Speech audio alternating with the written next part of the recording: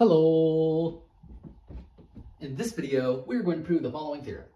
Suppose a and b are positive integers. If a divides b and b divides a, then a is equal to b. Now, in proving this theorem, we are going to use the following preliminary result. Given any positive integer, capital A, all divisors of capital A are less than or equal to capital A.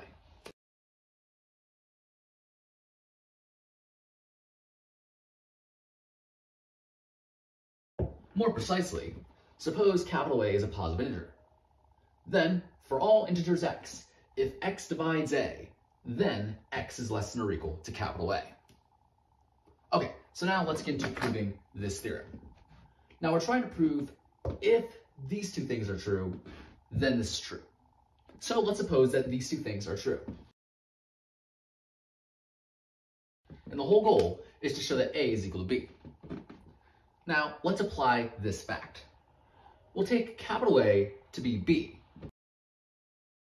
Well then, we know that for all integers x, if x divides b, then x is less than or equal to b.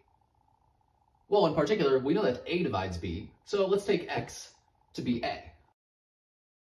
Right, since a divides b, it follows that a is less than or equal to b.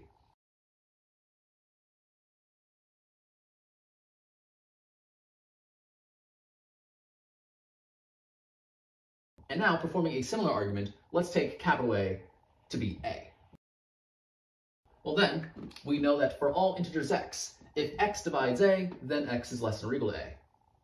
Well, in particular, we know that B divides A, so let's take x to be B. Since B divides A, we know that B is less than or equal to A.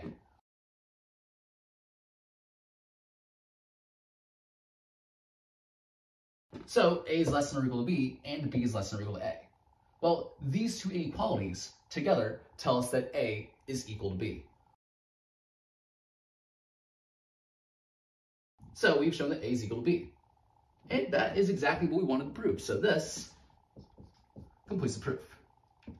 And so yeah, that's pretty much it for this video.